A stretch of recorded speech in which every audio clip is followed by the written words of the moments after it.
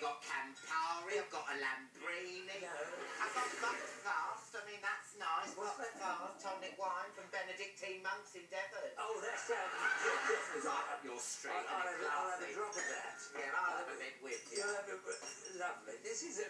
You didn't do this the last time, Oh, I did, love. did you? Did I? We have, no, we didn't have No. a drop.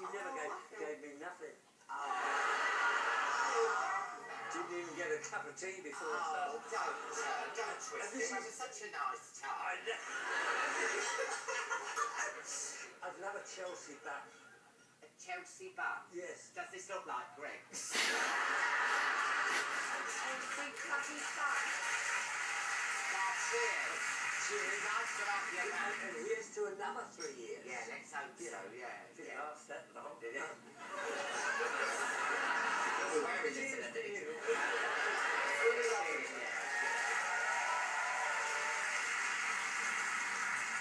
This is quite nice. It's nice, isn't it? Those monks are onto a good thing, aren't Yeah, I might, I might put my name down for a monastery. Now listen, every year you do the Strictly Final, Yes. and then you disappear off the face of the earth